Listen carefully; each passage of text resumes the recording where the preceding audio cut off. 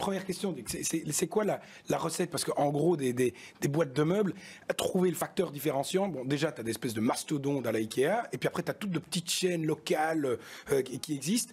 C'est quoi le fait Qu'est-ce qui s'est passé dans Maison Mm. du Monde pour avoir une croissance pareille dans un, un marché qui est flat? C'est quoi le. S'il y a un truc, c'est quoi- pour toi, c'est quoi? L'innovation.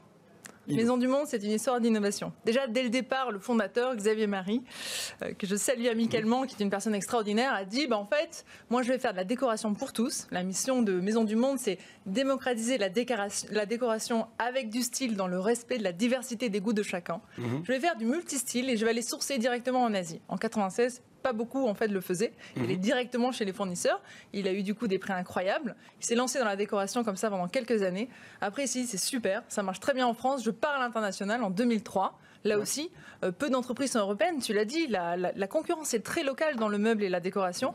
Donc aujourd'hui, avec Ikea, on est les deux entreprises avec une vraie empreinte européenne. Mhm. En 2006, il a dit la décoration, c'est bien, on va aussi faire du meuble. Et des entreprises qui font de la déco et du meuble, il n'y en a pas tant que ça. Non Et dans les dernières années, effectivement, on a bien accéléré l'omnicanal. C'était ma mission quand j'ai rejoint Maison du Monde en 2014, d'accélérer l'omnicanal.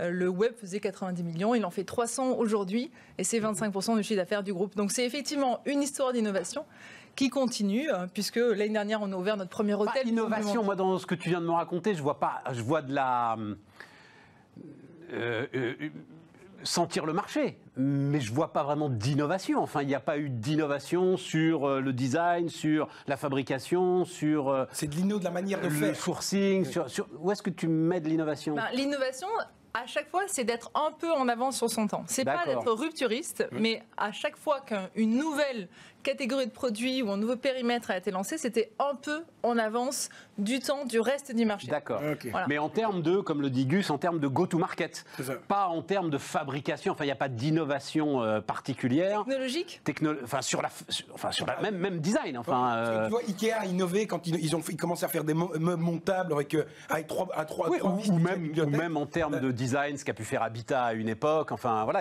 là, on est sur. euh, vous allez sourcer en Asie, comme vous le dites. On- mais on est effectivement encore très innovant, même dans notre conception produit. Aujourd'hui, beaucoup de nos meubles sont des alliages de bois et de métal avec des incrustations, des savoir-faire que l'on d'ailleurs ne trouve plus en Europe. hein. C'est aussi pour ça euh, qu'on source en Asie, parce qu'on va chercher des matières premières exotiques, mais également des savoir-faire de martelage, d'incrustation, de sculpture qui ne sont plus en Europe. Donc aujourd'hui, on arrive à à faire une forte croissance tout en gardant un savoir-faire semi-artisanal et des techniques euh, qui sont effectivement euh, de plus en plus rares aujourd'hui. Donc l'innovation, c'est de faire ça à grande échelle en maintenant la qualité et la responsabilité.